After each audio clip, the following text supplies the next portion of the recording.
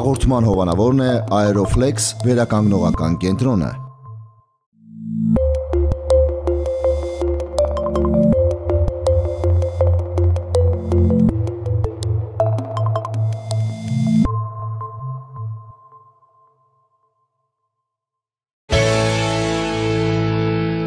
Բարև հարգելի հեռուստադիտող, դուք դիտում եք առողջություն եւ գեղեցկություն հաղորդաշարը եւ այսօր մենք կզրուցենք ենթաստամոքսային գեղձի խնդիրների մասին։ Շատերը իհարկե կարևորություն չեն տալիս մեր այս օրգանին եւ չեն էլ պատկերացնում թե որքան կարևոր պարտականություններ այն կատարում մեր օրգանիզմում։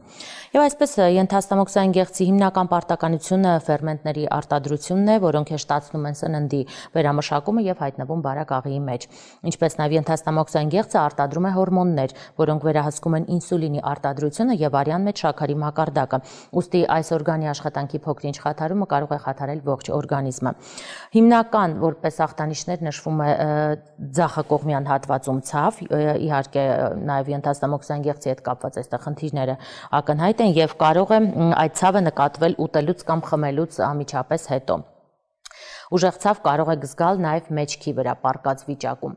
Այլ ախտանիշների, դրա ախտորոշման եւ բուժման մասին մենք կզրուցենք ֆիզիոլոգ Արմինե Գրիգորյանի հետ։ Բարև ձեզ Արմինե ինչ ախտանշաններ կավելացնեք, որոնք կարող են մեզ հուշել, որ ենթաստամոքսային գեղձը փոքրինչ խաթարված է, քանի որ այդքան ակնհայտ չեն ախտանշանները։ Տեսեք, ըստ վիճակագրության քրոնիկ պանկրեատիտ ասված, այսինքն արդեն բորբոքային լուրջ process-ները, որոնք տարիների վեր կան օրգանիզմում, հանդիպում է 100 հազարից 50 մարդու մոտ, այսինքն քիչ հանդիպող է համարվում, բայց ես այդպես չէի հասցի, որովհետև 35-ից 50 տարեկան մարդկանց մոտ հատկապես ալկոհոլի, սննդի, կենսակերպի չարաշահման պատճառով շատ է լինում։ Նաև ենթաստամոքսային գեղձը համարվելով մեր լաբորատորիան, քանի որ էկզոգրեն ամենակարևոր ֆերմենտներն է արտադրում, հա, լիպազա, ամիլազա, հատկապես ճարպերի, ածխաջրերի մարսման համար նպաստող, ինչպես նաև սպիտակուցների համար տրիպսինը,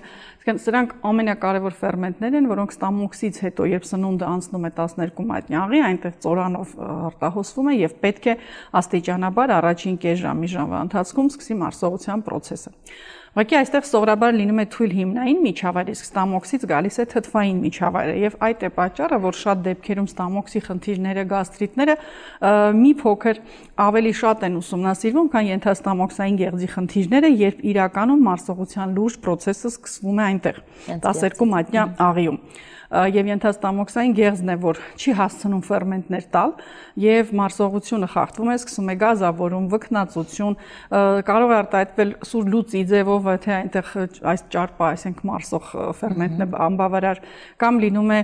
հակառակը փորկապության նշաններով, բայց ավելի շատ ենթաստամոքսային գեղձի հանգարումների դեպքում հաճախակի տեսնում ենք մենք լուծի հակում։ Իհարկե գազավորումը արդեն չմարսված սնունդը 12 մատնյաղից իջնում է բարակ աղիներ, հաստ աղիներ կալորիներ եւ այնտեղ չի ներծծվում նորմալ սնունդ սննդարար նյութեր, այսինքն նաեւ ենթաստամոքսային գեղձի ֆունկցիան կայանում է նրանում, որ նրա տված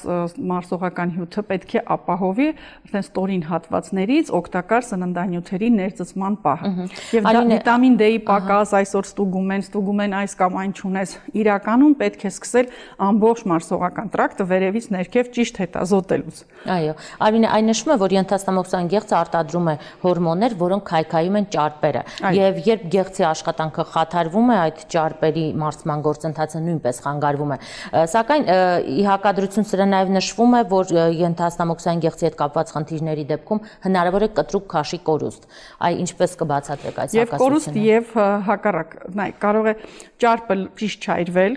կամ մնա կուտակային ներծծվի հետարյան մեջ, հա, այստեղ նաև շաքարի այրման process-ներն են, գլյուկոզայի պահեստավորման լյարդում, այսինքն այստեղ միայն չի կարելի նայել, դիտարկել, որ ենթաստամոքսային գեղձը վատ է, կարող է լինել լյարդի խնդիրներ հետը զուգահեռ լինելում։ Քաշի կորուստ, որովհետև ասի շատ հաճախ ներծծում նորմալ սննդանյութերի չի ապահովում Իսկն դուք կարող եք ճանենալ այն ինչ որ երել եք, հաց թվում է թե ուտում եք, բայց չեք քաշ հավաքում։ Բայց կարող լինել նաև հակառակը ցավոք, քանի որ նաև էնդոկրին ֆունկցիայի խնդիր ունենք եւ ինսուլինի սինթեզը գիտեք ապահովում են ենթաստամոքսային գեղձի բջիջները եւ ինսուլինն է, որ օգնում է շաքարի այրմանը, հա, ծախսմանը եւ որpիսի շաքարը արյան մեջ բարձր չմնա, դիաբետ հիվանդություն չձևավորվի, ահա այս process-ը եւս կարգավորում են այս բջիջները։ Բայց այսօր պարզվում է, որ ինսուլին ռեզիստենտություն հասկացողություն կա, երբ մեր ճարպային բջիջները ստիպ ձևավորում են, հա, ավելորդ ճարպակալում, հատկապես փոքր տարիքում է դա լինում, մեծ տարիքում է դա լինում, երբ որ չի հասցնում բնական ձևով նյութափոխանակությունը կատարել եւ պահեստավորվում է ճարպաշերտում։ Իսկն շատ երեխաներ ուտում են արագ, ферментները չեն բավարարում, ինչ որ վիտամինային մասը եւ այլը փոխանակ ներծծվի, ներծծվում է տոքսիկացիա։ Եվ այդ տոքսինը կարող է կուտակվել ինչպես ճարպային բջիջներում, այնպես էլ լյարդի բջիջներում, մաշկում, երիկամները չհասցնեն մաքրել, դա արդեն քրտնարտադրության խնդիրն է, այսինքն շատ-շատ խնդիրներ կարող է զուգահեռ լինել ենթաստամոքսային գեղձի փոխով։ Ենթաստամոքսային գեղձի հիմնական ախտորոշումը ամիլազա, դիաստազա, իհարկե այս նյութերից բացի կան ախտորոշման այլ մեթոդներ եւ եթե կան ձեր կենտրոնը որն է իրականացվում։ Քանի որ ես նշեցի, որպես ֆիզիոլոգ ես ավելի շատ հակված եմ ոչ թե քրոնիկ հիվանդությունները կամ սուր վիճակները բուժելուն, այլ քրոնիկը վերականգնելուն, այսինքն սովորաբար բժշկի բուժումներից հետո, սուր էտա պահանջնելուց հետո պետք է նայեր նաև ինչ է կատարվում մյուս հատվածներում։ Դրա համար մեր ինդոսկրին տեստավորումը շատ հարմար է, հատկապես նյութափոխանակության ասպեկտը տեսնելու, որը չի երևում սովորական կլինիկական հետազոտություններում։ Այսինքն ինչ մակաբուծային հա, հարուցիչներ կարող են նստած լինել այնտեղ։ Դե պասեմ ասեմ, որ կան փոքր ծծիչներով խմող անկիլոստոմա կոչվող պարազիտներ, դրանք ճիճվային հարուցիչներ են, որոնք սիրում են հենց ենթաստամոքսային գեղձի շրջանում սնվել այդ օգտակար նյութերով, որոնք ферментների բաղադրիչ մասն են։ Եվ ձեր ферментներն արդեն նորմալ չեն արտադրվում։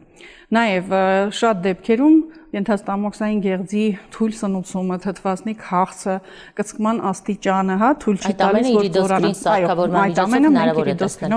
Իսկ այ ես նշեցի, որ ցավեր ձախակողմյան հատվածում եւ հատկապես պարկած վիճակում ուտելուց եւ խմելուց հետո վկնացության զգացողություն, այս ամենը տեսնելուց հետո պետք է հետազոտվել թե պրոֆիլակտիկ նույնպես դա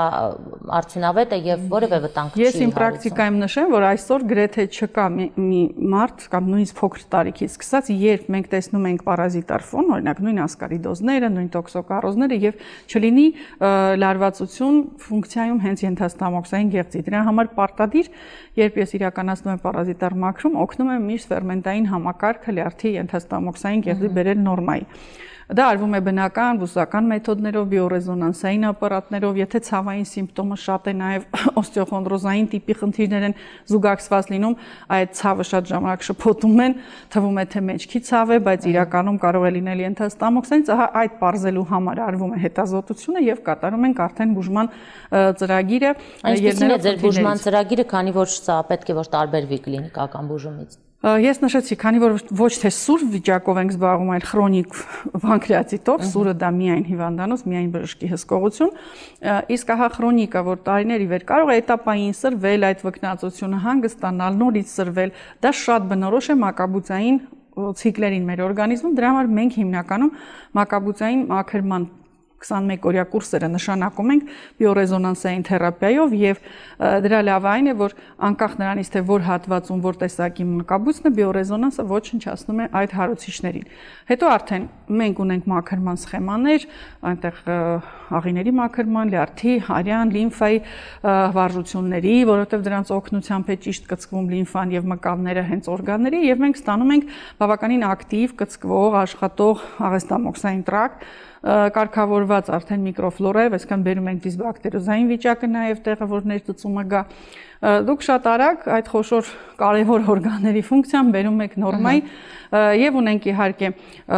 արդեն դետոքս պրոցեդուրան, որը օգնում է տոքսինների մաքրմանը եւ լյարդի ծանրաբեռնվածության վերացմանը, որտեղ լյարդը պետք է միշտ համագործակցի ենթաստամոքսային գեղձի հետ եւ եթե լյարդի խնդիր ունեք, նորից կարող է հետ աշխատի